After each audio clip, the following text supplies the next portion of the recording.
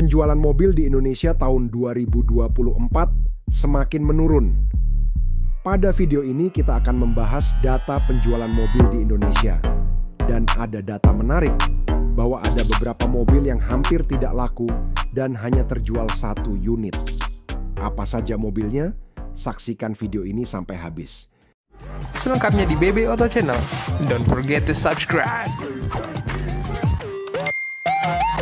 Dari awal tahun sampai bulan September, mobil yang terjual total 633.218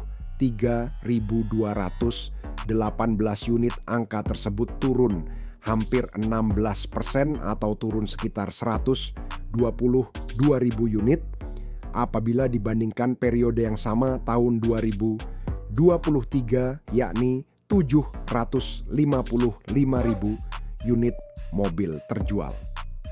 Pencapaian angka tersebut semakin memupus harapan target penjualan mobil nasional sebanyak 1.100.000 unit dan nampaknya bisa saja turun dari pencapaian penjualan tahun 2023 sebanyak 1 juta unit. Rata-rata mobil terjual sepanjang 2024 sebanyak 70.000 unit. Padahal tahun 2023 rata-rata penjualan mobil per bulan sebanyak 83.000 unit. Dari 41 brand kendaraan yang terdaftar di Gaikindo, hampir semuanya kompak mengalami penurunan kecuali brand-brand baru yang muncul di dua tahun belakangan seperti BYD dan Chery.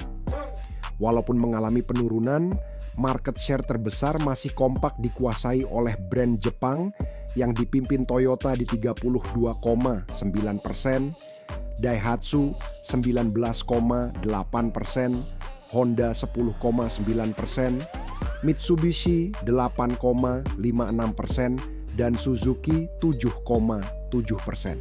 Namun geng Jepang harus waspada karena brand Cina mulai unjuk gigi di tahun 2024 dengan peningkatan yang signifikan sebanyak 41 persen dipimpin oleh Wuling 2,2 persen dan BYD 1,3 persen.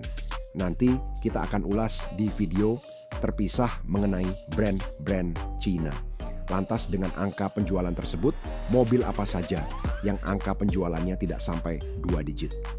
Mobil pertama ialah brand asal India yakni Tata sepanjang tahun 2024 dari awal Januari sampai September, Tata hanya berhasil menjual satu unit mobil di bulan Maret. Jenis mobil yang berhasil dijual ialah pickup Tata dengan merek Intra V20. Mobil kedua berasal dari Eropa yakni Audi. Sepanjang tahun 2024 Audi berhasil menjual 22 unit mobil namun ada satu mobil yang hanya laku satu unit dan terjual di bulan Januari, yakni Audi A5. Mobil seharga 1,3 miliar tersebut cocok untuk orang yang tidak terlalu suka memakai mobil yang pasaran karena hanya ada satu unit yang terjual sepanjang 2024. Mobil ketiga yang cukup mengejutkan ialah dari brand Toyota. Angka ini jujur bikin saya kaget karena walaupun Toyota sepanjang tahun sudah menjual 208 ribu unit kendaraan dan masih menempati posisi nomor satu, tapi ada mobilnya yang kurang laku. Mobil tersebut adalah all new Agya 1,2 GRS transmisi manual. Mobil tersebut berhasil terjual di bulan April. Memang mobil seharga 243 juta tersebut rasanya kurang banyak terlihat di jalan apa karena memang harganya terlalu tinggi atau modelnya yang kurang masuk pasar Indonesia. Gimana menurut Anda silahkan tulis di kolom komentar. Mobil keempat yang kurang laku berikutnya berasal dari brand Cina yakni Wuling.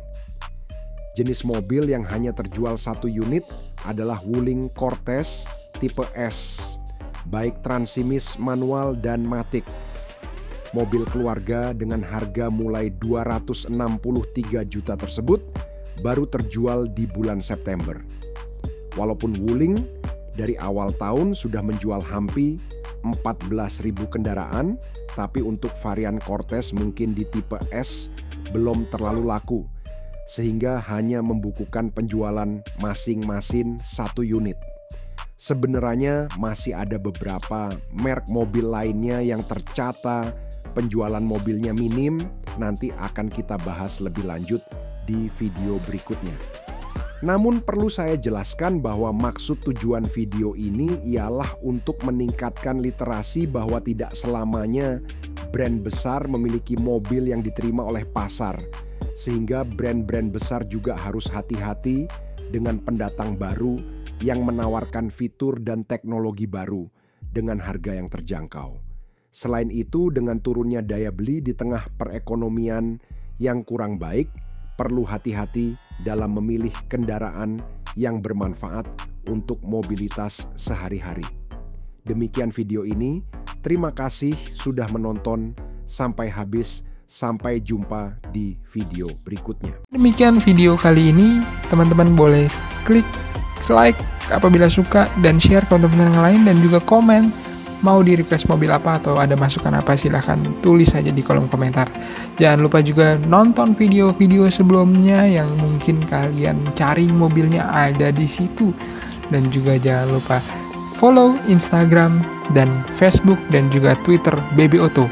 Bung Ba sign out, jangan lupa subscribe. Sampai jumpa di video berikutnya.